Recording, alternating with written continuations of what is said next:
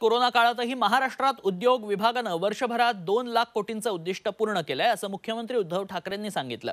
आज मुंबईत झालेल्या मॅग्नेटिक महाराष्ट्र कार्यक्रमात ते बोलत होते.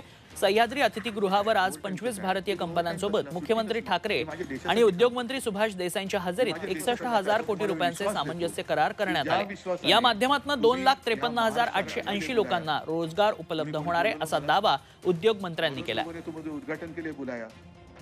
सगळं जग जेव्हा करोना महामारीशी लढण्यामध्ये गुंतलेलं आहे आणि महाराष्ट्रसुद्धा त्यामध्ये आहेच पण तरीसुद्धा आमचा उद्योग विभाग स्वस्थ शांत बसला नाही. आमचं काम सातत्याने चालू होतं आणि त्याची फळं आता दिसायला लागलेली आहेत. त्यामुळेच आज पंचवीस कंपन्यांशी एकूण एकसष्ट हजार कोटी रुपयांचे सामंजस्य करार करण्यात आले आहेत. यापूर्वी जूनमध्ये आणि त्यानंतर नोव्हेंबरमध्ये असेच उद्योग करार झाले.